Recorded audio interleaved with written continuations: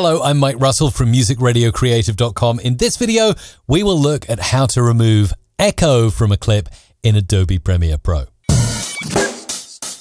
Check out my Premiere Pro audio presets. If you're working with dialogue, different microphones, or you need to do some noise reduction in your videos, you need these audio presets. Head over to mrc.fm slash presets to download them now. That's mrc.fm slash presets. Check the mic and make sure it sound right, boy. It sound right, boy. Okay, let's dive straight in. Here's a podcast client of ours with a bit of echo in the room. Can you dive into that? Right. So as I was doing the research on this uh, the first time, Okay, you can hear a bit of room echo going on, but it's really easy to remedy this if we go into the effects window and we look for DeReverb. We can drag and drop it onto the dialogue there. We can edit that and we can just move this from zero to 100%, the easiest way to remove the room echo. right? Can you dive into that? Right. So as I was doing the research on this, uh, At 56%, it's working really well. Drag it back down right? Can you dive into that? Right. So as I was doing the research on this, uh, and you hear how it makes a massive difference. But that's not all. For the moment, I'm going to bypass that effect and we're going to go to some other ideas as well. Uh, the other one is to try out parametric equalizer. Now, if you have a play with this, you can really drag out some of the bad frequencies in your audio that contain echo. So I'm doing this without the DeReverb applied. And what I'm going to do is notch up one of these EQ bands here and make it smaller by changing the Q width on a couple of them. So one on the three, one on the four, and we'll bring this up and we'll scan through as we play. right? Can you dive into that? Right. So as I was doing the research on this uh, the first time I presented it was, it's just three Around about here, we've got some pretty terrible stuff going on. So let's widen that out. easy words, Tracy.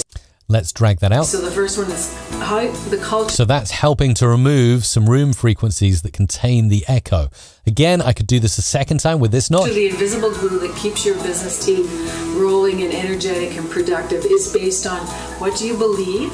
Okay. How do you behave towards each other? And how do you make decisions? Okay, more echo going on there. Let's drag that out right there. So you just have to. Okay, so now we've added that in, and I might drag that ahead of DeReverb. We can have parametric equalizer with frequencies pulled out, DeReverb applied. Let's listen now to what we've got. Right. Can you dive into that? Right. So as I was Sounding really clean. I might just back that off a little bit now I've done some EQ work. doing the research on this uh, the first time that I.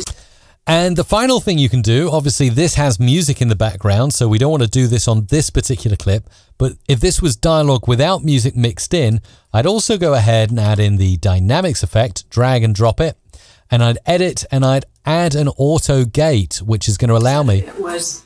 It's just three. to block out some of the background audio. You can hear it ducking down when the speech stops. Now, obviously, in this particular case, there is music that's getting ducked out. But if you have a pure piece of dialogue with nothing else in the background and you want to remove as much echo as possible, remember those three effects. Parametric EQ to scan through and pull out the echo from the room.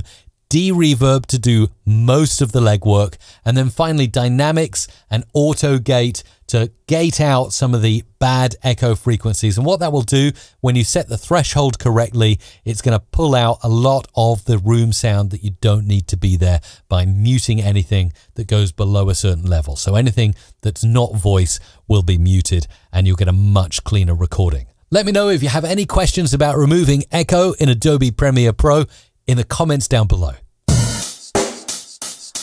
Make sure to like, also subscribe to my channel so you can see more audio production videos and ding the bell so you never miss anything.